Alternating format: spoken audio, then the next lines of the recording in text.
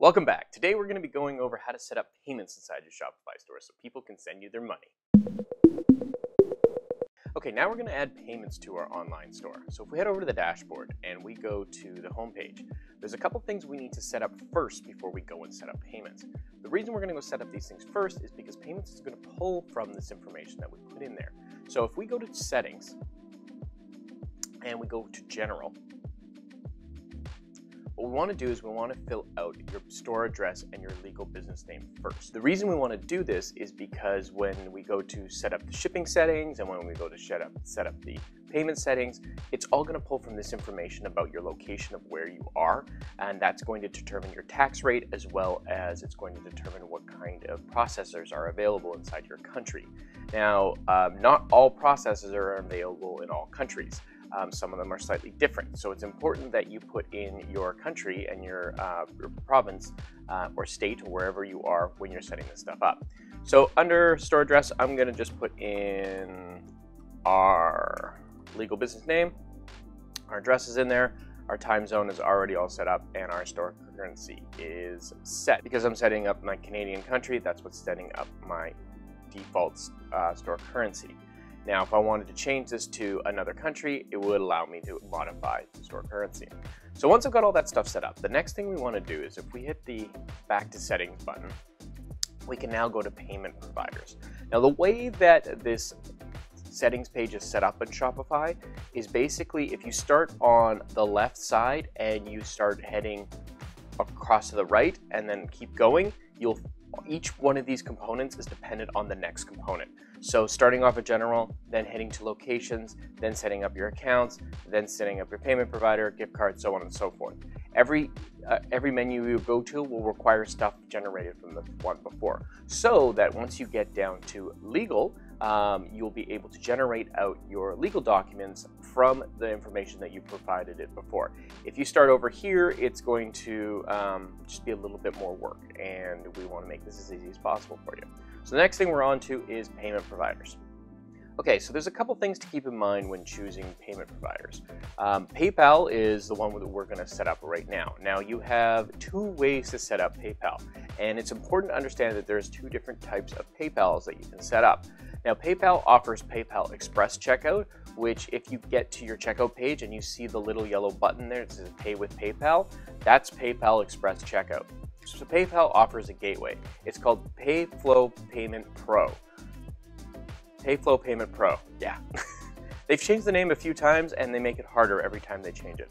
So if we go into uh, our payments now, I've already gone and set up or started to set up Shopify payments inside of the dashboard. But we're going to change the provider here and we're going to go and we're going to select a third party provider and I'm going to show you the PayPal PayFlow Ah, here we are, PayPal PayFlow Pro.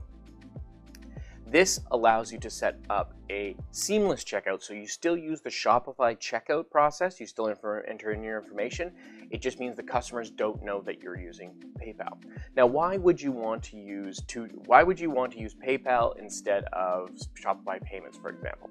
Well, there's a couple reasons. One, you might get a lower uh, transaction cost or per transaction uh, fee based on whatever your business is. Now, um, you can work with PayPal to get a lower fee, um, as well as you can work with Shopify to get a lower fee.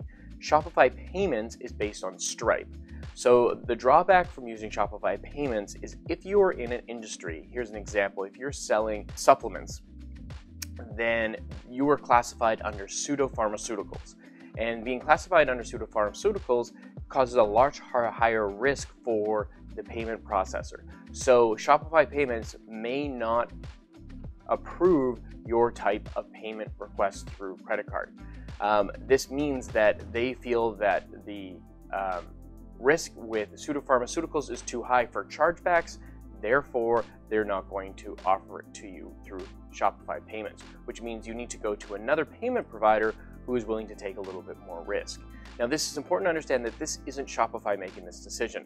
Shopify does have its own risk analysis department, but most of these risks come from Stripe because they're, um, Shopify is a rebranding of Stripe API. When they say that they're not able to offer payments for your business type, it's not something that's coming from them, it's coming from another company who is looking at a lower uh, risk profile for you. All right, so to set up uh, Shopify payments, you can go quick account setup, fill out the information that they ask you, and complete account setup. It's really straightforward. And then you will have everything deposited into your account in three to five business days. If you are going to be setting up PayPal Express, you want to just come down to PayPal, select your payment method, payment method, select PayPal Express checkout.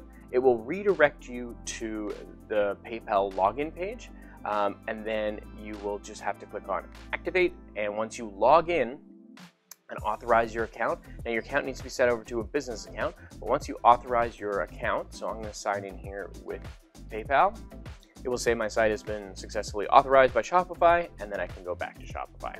Now, if anybody goes through the payment checkout process, it's going to give us the little yellow button, which allows them to pay by PayPal, and then they can send us the money.